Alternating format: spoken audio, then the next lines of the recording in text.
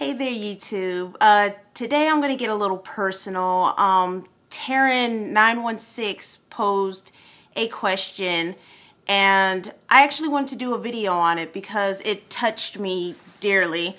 Um, it's her feeling ugly without um, video.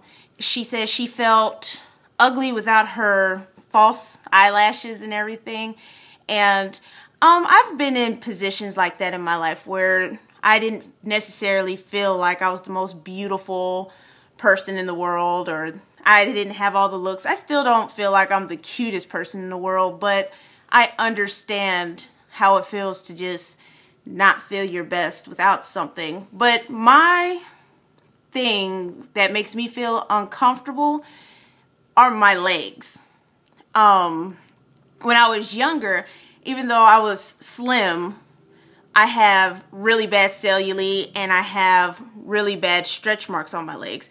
So I guess if I had to say there was something that made me not feel beautiful, it's not wearing pants. I have to wear pants or a very long dress that covers these legs because I've had insecurities about them.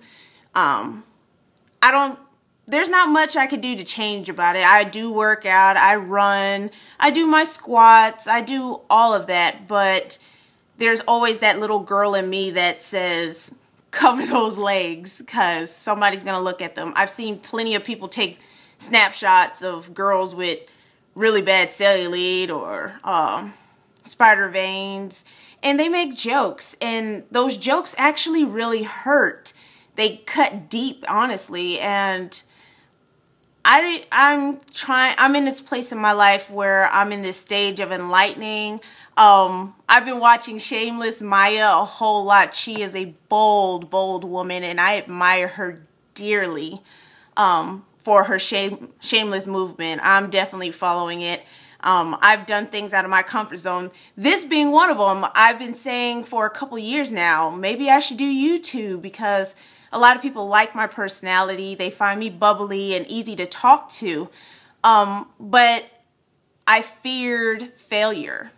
And so I came into this year saying, you know what? I'm going to do better. I'm going to try new things. I'm going to do things that make me uncomfortable.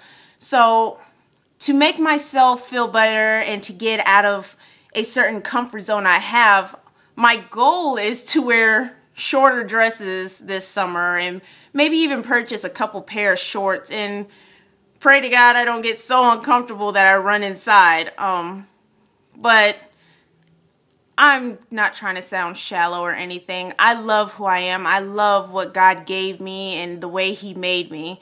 So I try not to focus on the fact that my thighs are not my best friends. So I don't know if that counts for what I feel ugly without but I definitely feel uncomfortable showing off my legs. I don't like to wear bathing suits or anything that shows the upper half of my thighs. So um, my goal is to actually get out of that that zone and try some dresses soon and some shorts. I don't want booty shorts. I'm you know, I keep it classy.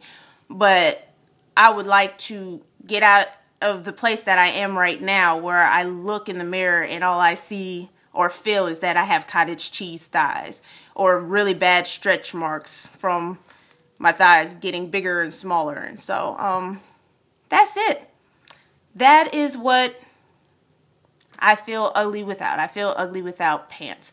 So if you're watching this and you have insecurities or you also have problems with your legs, come talk to me. I, I'm easy to talk to. Comment to this, and I encourage you to try this tag as well. Come out and say what it is that makes you uncomfortable, what makes you feel ugly, what it is that you feel ugly without. Other than that, have a nice day. I'll see you guys on the flip side. I love and adore all of you guys. Bye.